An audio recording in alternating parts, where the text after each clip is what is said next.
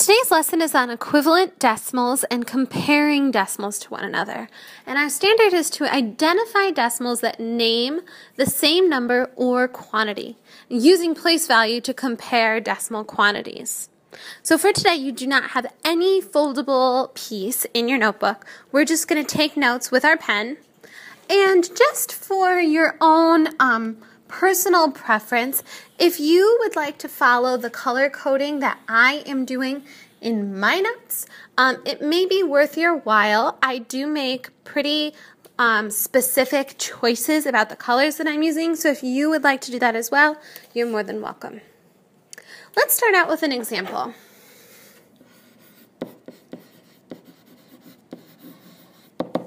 The first example I want to talk about is a number called 1 and 6 tenths.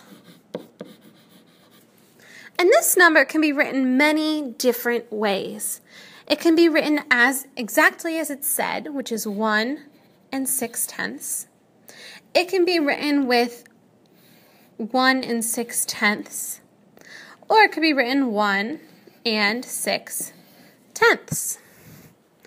All these numbers are absolutely equal because they end in a zero.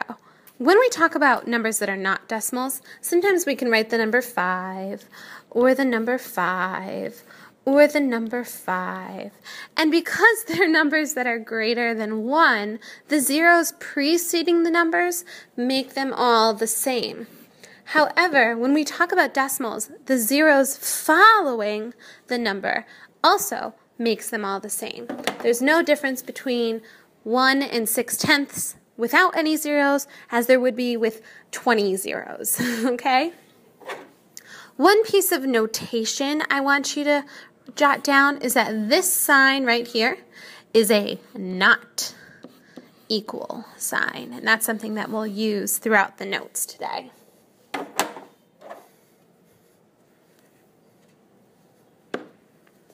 So let's look at a couple examples. If I say 0.09 and we'll compare that to 0.009,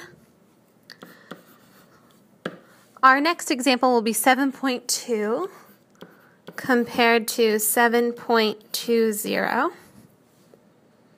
And then we'll also look at 7.10 compared to 7.1. Now, these numbers are either alike or equal or not equal. The example A can be read 0.09 is 9 hundredths. The second number in this system is 0.009, which is 9 thousandths. So these values are not equal. In example B, 7.2 is 7 and 2 tenths. And 7.20 is also 7 and 2 tenths. So those are equal. Letter C, same scenario. 7 and 1 tenth is equal to 7 and 1 tenth. Right? The zeros that follow our decimal don't change at all the value of what the decimal is actually worth.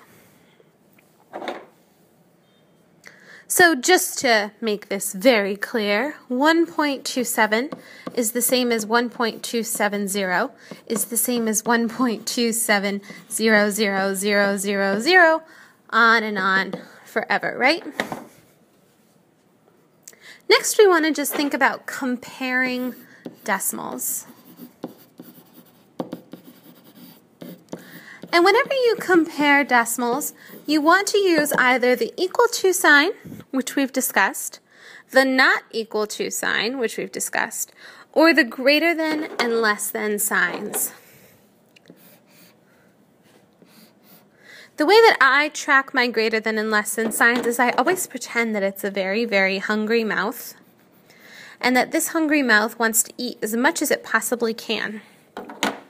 So the mouth is always facing the larger of the number. So in this case, if I had a number here and a number here, the first number would be less than the second number. So this is my less than symbol.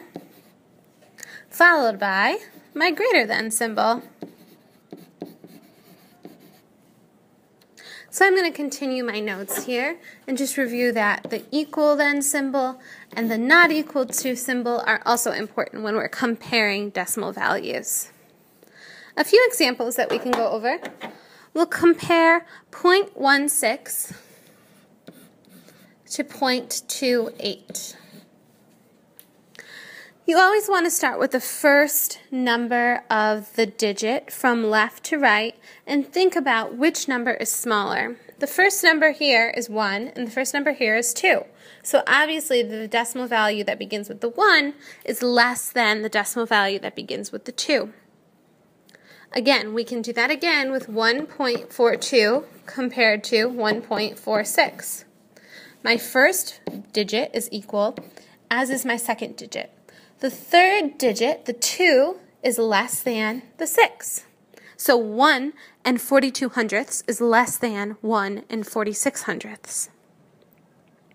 When you're trying to order numbers from least to greatest, you should also work with this method specifically.